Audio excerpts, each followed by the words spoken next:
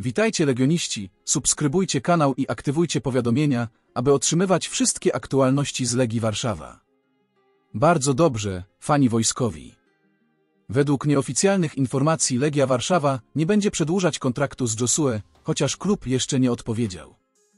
Josue jest liderem Legii Warszawa i jej najlepszym piłkarzem, ale wszystko wskazuje na to, że to jego ostatnie tygodnie w stołecznej drużynie.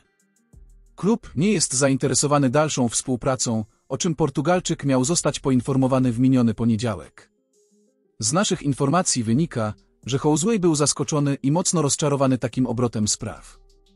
Do samego końca liczył, że Legia zaproponuje mu nową umowę. Klub, póki co, nie odniósł się do medialnych spekulacji i nie opublikował żadnego komunikatu w sprawie 33-latka. Na ten temat nie chciał też zbyt wiele powiedzieć trener Legii Gankalo Fejo. Jeżeli klub oficjalnie tego nie potwierdził, to ja nie czuję się na siłach, żeby to robić. To nie jest moją rolą. Przyszedłem do największego klubu w Polsce.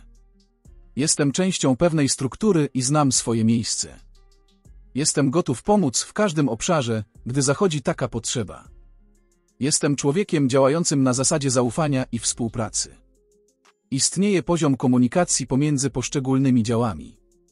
To jest moja odpowiedź, przyznał Portugalczyk na konferencji prasowej. Nie ma natomiast wątpliwości co do postawy Hołzłej w trzech ostatnich meczach tego sezonu.